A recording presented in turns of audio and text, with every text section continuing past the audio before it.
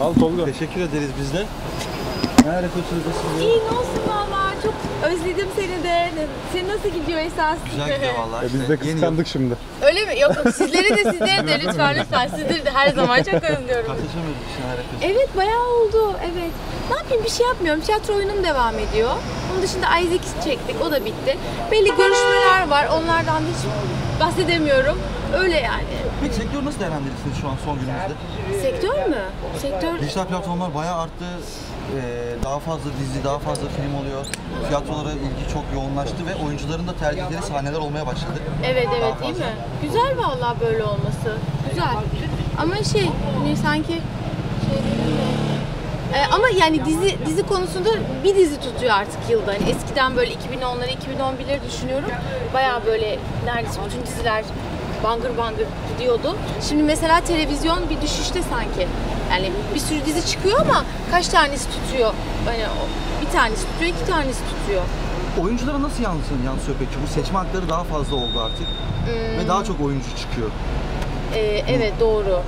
Ee, çok güzel. Vallahi tez gibi yani muhteşem yani. Bunları böyle eve gidip düşüneceğim nasıl falan diye. Bir dahaki de Ee, yani e, evet daha çok daha çok oyuncu var mı gerçekten yoksa hep mi öyleydi? Onu bir sorguladım. yani şimdi dijital platform olduğu için alan artıyor.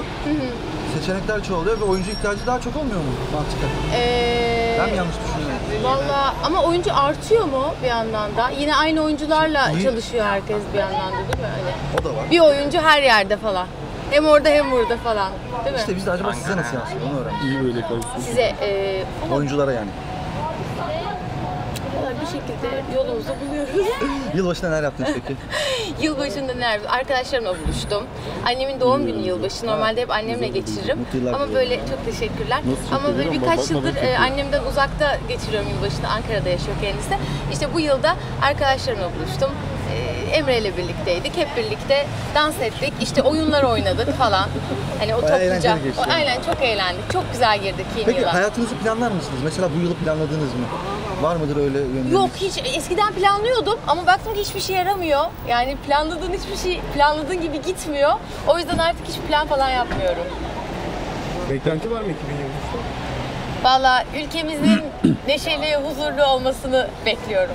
Annenizden bahsettik ya mesela gelinlik de görmek istiyor mu? Sizi sorduğunuz bir şey. Baskı var mı?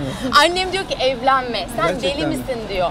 Annem de Evet babam da artık öyle evlen... olmaya başladı. Ya Evlenmeyin. tabii canım. Ya benim annem babam hep öyleydi. Yani babam da der ki iki insanı alıyorsun, bir evin içine tıkıyorsun. Sonra diyorsun ki siz anlaşın. Dünyanın en zor şeyi yani. Annem de babam da hiç e, evlenmene gerek yok diyor yani. Gerek Evlilik var aşkı öldürüyor düşüncesine inananlardan mısınız peki? Ya, Sizce evlilik aşkı ya öldürür evet mü? çünkü çok bir modelim yok benim e, karşı yani önümde E, öldürmüyor dedirtecek. E, genelde değil mi öyle Mutlu evlilik göremiyorum diyorsunuz yani. ya göremiyorum ya yok aklıma gelmiyor. Rol mü yapıyor hepsi?